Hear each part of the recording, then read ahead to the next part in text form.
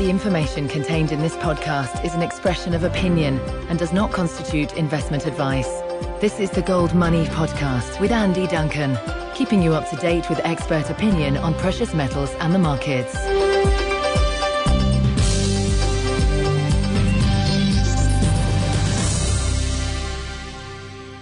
Hello and welcome to this GoldMoney podcast on Tuesday, the 12th of February 2013, the 100th GoldMoney podcast. We've had some great guests on the last 99 shows, and today is no exception because today I'm privileged to be speaking to the author of The Machinery of Freedom, economist, physicist, and all round polymath, Professor David Friedman. Hello, David. Hello. We've been living in a totally fiat money experiment since 1971 when Richard Nixon closed the gold window on the US dollar. How do you think this experiment is going? Well, there have been worse times and there have been better times the US at least has not had a hyperinflation yet, so we're doing better than the German or Hungarian experiments of a while back.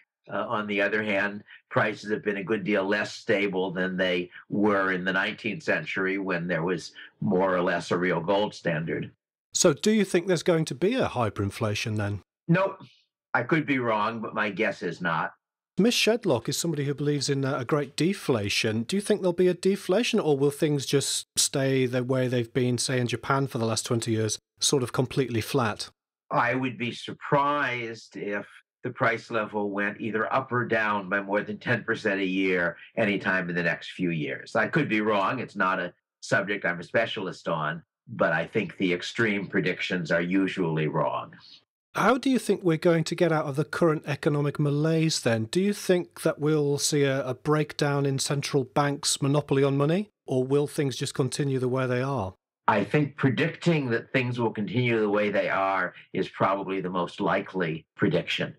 As you may know, back in the 18th century, after one of the American victories in the Revolutionary War, uh, one of Adam Smith's students came to him and he said, Mr. Smith, this will be the ruin of England. And Smith's reply was, Young man, there's a lot of ruin in a nation. And I think that's true of, of, of most things, that the present monetary system is not what I regard as the ideal one. Uh, but insofar as there's a serious threat to it, I think it's likely to be technological rather than its internal collapse. I think there is at least some possibility that some decent form of uh, e-cash is going to get uh, established in the course of, I suppose, the next couple of decades. And that might possibly end up replacing government monies. But I think that the idea that the fiat system works so badly it's going to collapse doesn't have very much support. Now, in the last week, we've seen the introduction of the Amazon coin e money. Do you think this is a sign of the trend that you're sort of describing there? Uh, and could something like that even become a kind of dominant currency if it if it takes hold? Uh, I haven't. Re- I've heard of that, but I've not really followed it, so I can't say much about it. Uh, I think the most interesting one, which I don't really understand well enough to thoroughly explain, is Bitcoin, because that's a decentralized system which doesn't depend on having a reliable bank or equivalent to redeem it it's not clear to me if the Amazon coin is more than just uh, a single merchant's uh, uh, sort of pseudo money, but we'll have to see. But I suppose it's possible that something like that could take off. Now, you've got a PhD in physics and you say you don't understand Bitcoin, so that doesn't really leave much hope for the rest of us. Do you think we, as well as Bitcoin, do you think we could see things like commodity bundle kind of money appear? It's certainly possible.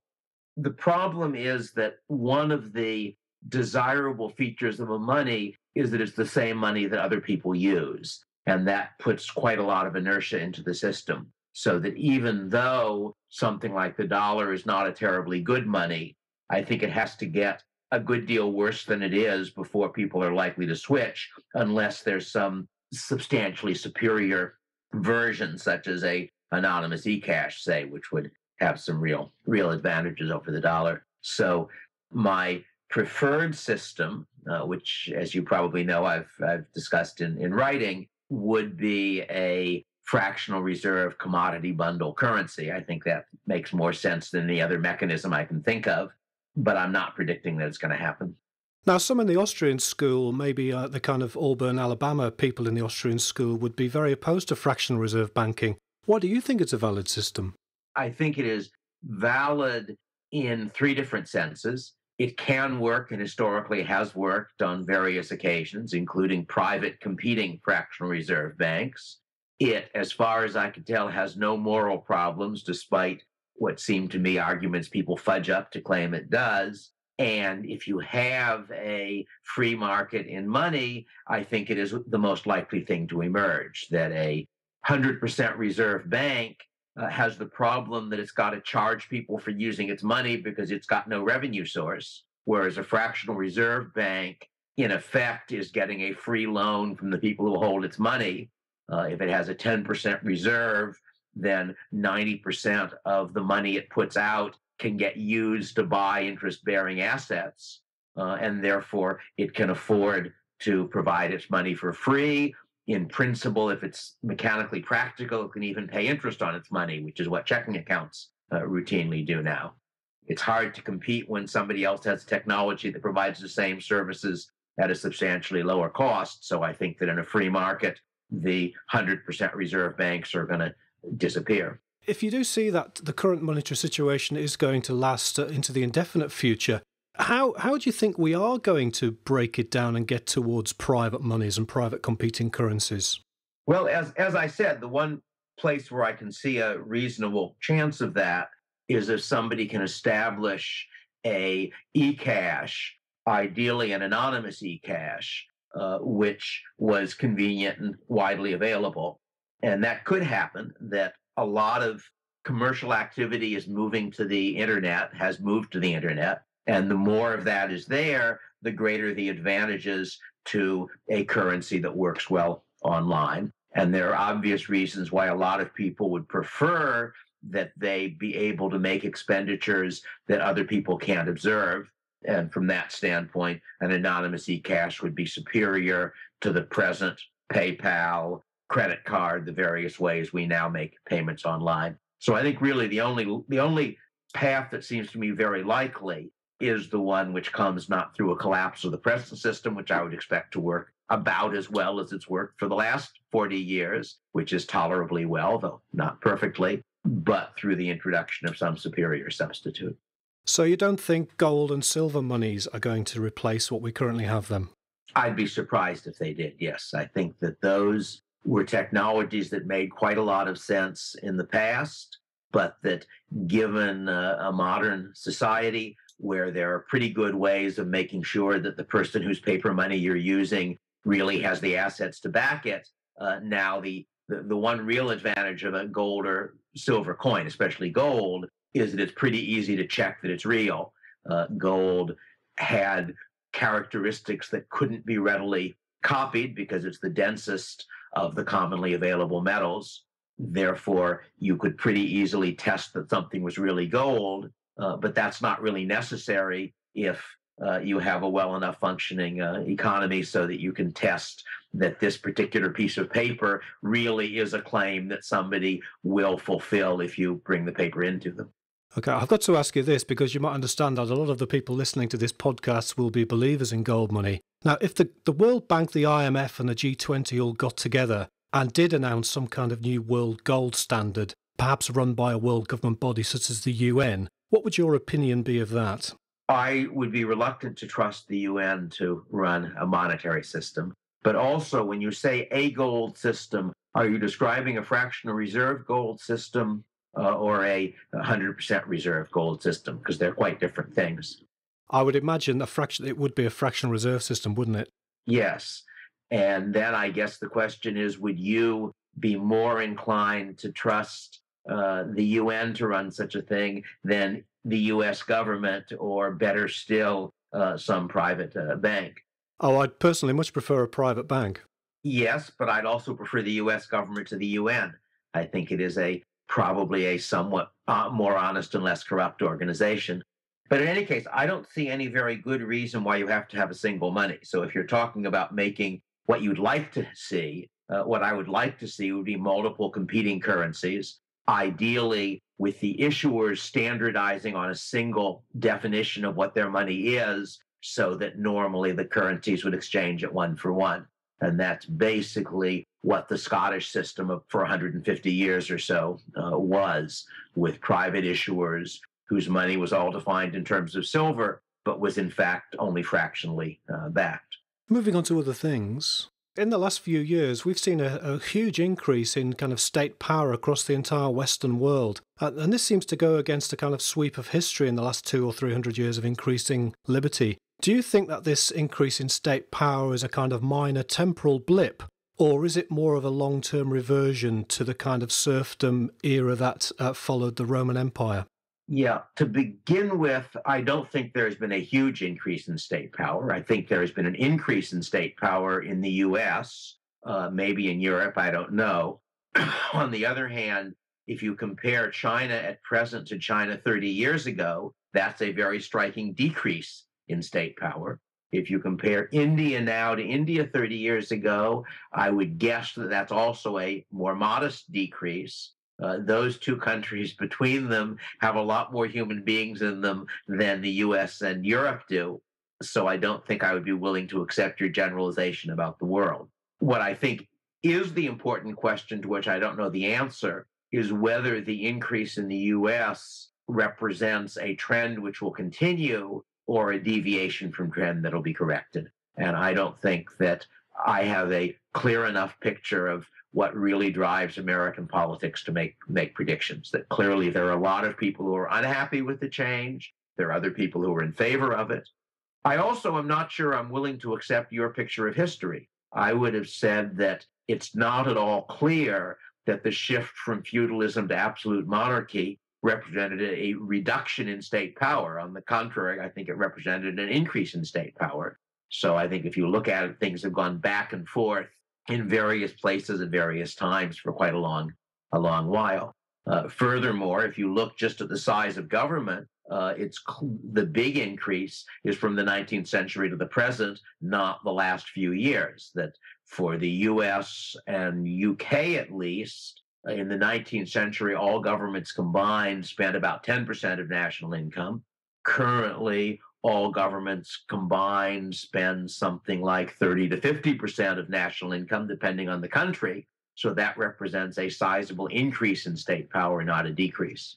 Looking into the kind of longer term of places like Europe, um, we, we see tensions in places like Scotland and Catalonia and various other countries that want to break away from, say, the nation states of the United Kingdom and Spain. Do you think that the euro area is likely to break up into smaller units and possibly even it might seem very unlikely. Do you think it's possible for the United States to break up into smaller units, into maybe even 50 different countries? I think it's very unlikely that the United States will. Might be a good idea, but I don't think it's going to happen. Uh, in the case of Europe, you've really got trends going in both directions. That on the one hand, there's the push from Brussels to turn Europe into something more like the United States. On the other hand, that's obviously resisted in a lot of countries. And as you say, there are a number of countries where there's a, a good deal of sentiment at the regional level uh, for breaking up. I think it's unfortunate that the EU has taken the position that if Catalonia secedes, it'll have to reapply for membership in the EU. The process will take quite a long time and thus secession would be quite disruptive from an economic standpoint. I think it would make much more sense to say once you've got a common market, now the economic advantages of staying inside a country are much less, and therefore we will make it easier for regions that where a lot of people are unhappy with the government they now have to secede.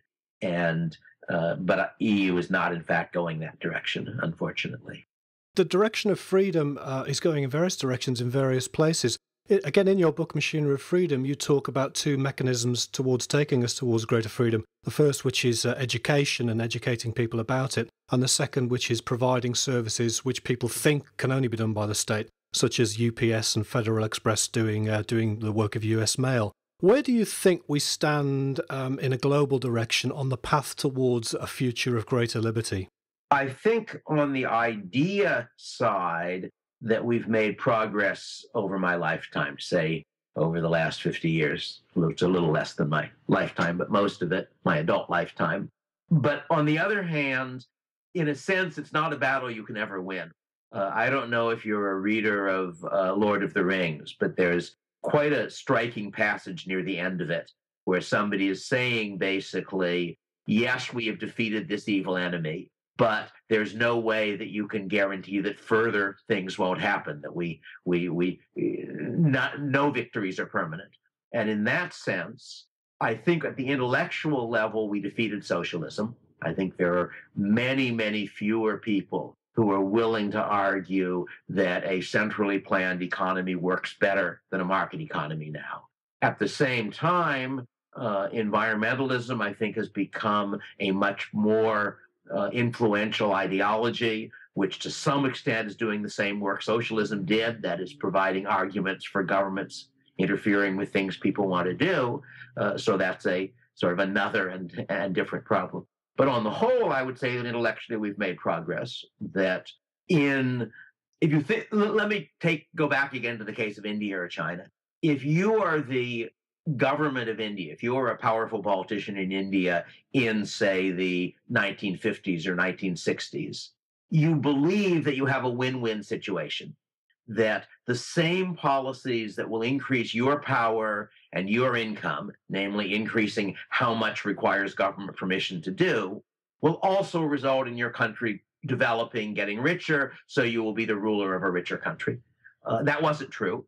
And I think at this point, practically nobody believes it's true. So that at this point, if you were the, a ruler of China or India, you realize that you have a trade off, that the same policies that increase how much control you have over your country also decrease how valuable that control is because they result in the country staying poor instead of getting rich. And I think that's been a very important change. And that's largely, though not entirely, responsible for the fact that things in countries where it used to have very strong governments now have only moderately strong governments. I'm one of those few people who thought the recent Hobbit movie was actually far too short at three hours and should have been four hours. So, yes, I've uh, read The Lord of the Rings. Now, one of the things I think was a great uh, tool in helping us increase freedom in the last 50 years was your book, The Machinery of Freedom. Now, the copy I've got on my hands now, I think, was a 1989 edition. It's freely available on your site now, daviddfriedman.com, to download as a PDF. But are we going to see another revision soon, or do you think your book still stands? Both.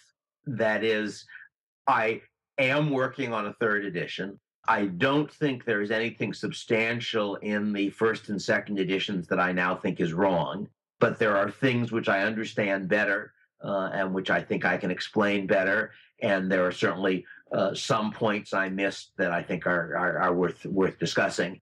How soon that will be done, I don't know. Uh, I've got drafts, I think, of most of the chapters.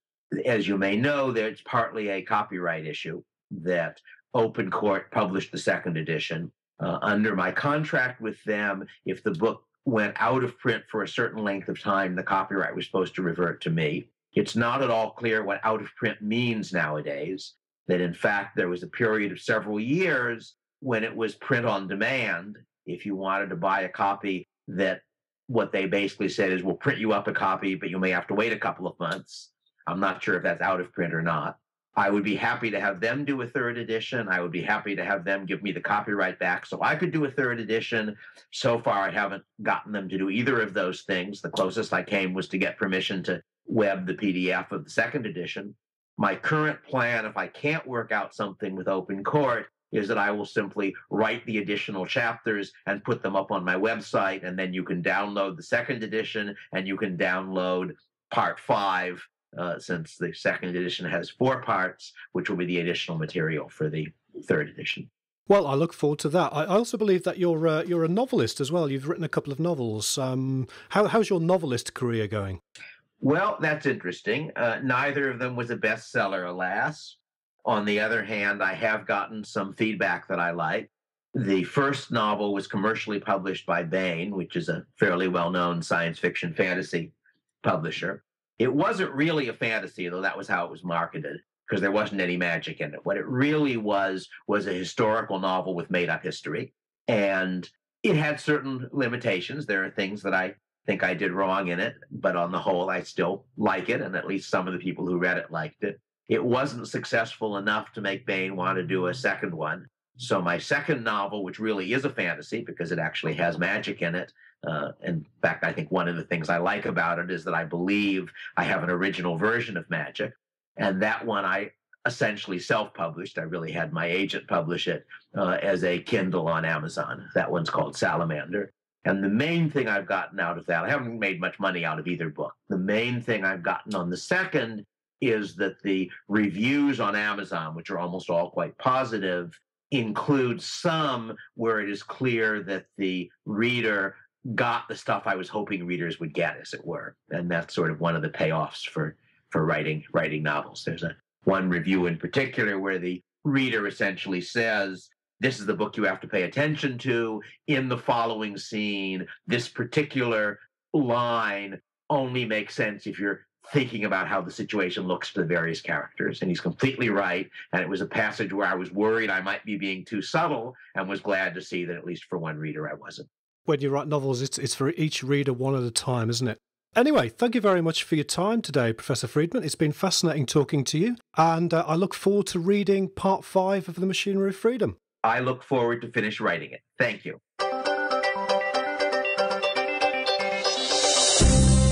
Subscribe to the GoldMoney newsletter at www.goldmoney.com to receive email updates on new articles, videos, and iTunes podcasts from our Gold Research section.